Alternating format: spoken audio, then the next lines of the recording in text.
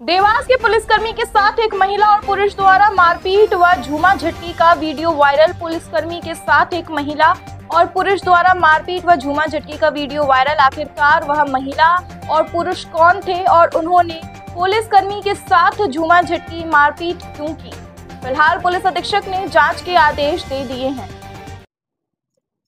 कल दिनांक को थाना पिपलवा क्षेत्र की घटना बताई जा रही है, जिसमें पुलिस कर्मचारी बुलंद खिलाड़ी करके जिनकी पदस्थापना टोरपुर थाने में और शासकीय आवास उनका पिपलवा थाने क्षेत्र में वहाँ से वो खुद जा रहे थे, रास्ते में ये खड़ी हुई मोटरसाइकिल पर रखा हुआ मोबाइल फ़ोन उठाने को लेकर विवाद होना पाया गया बाकी इस संपूर्ण प्रकरण में जाँच के लिए एस डी पी सोनभद्र को पाबंद किया गया, जाँच में जो भी तथ्य आएँगे कार्रवाई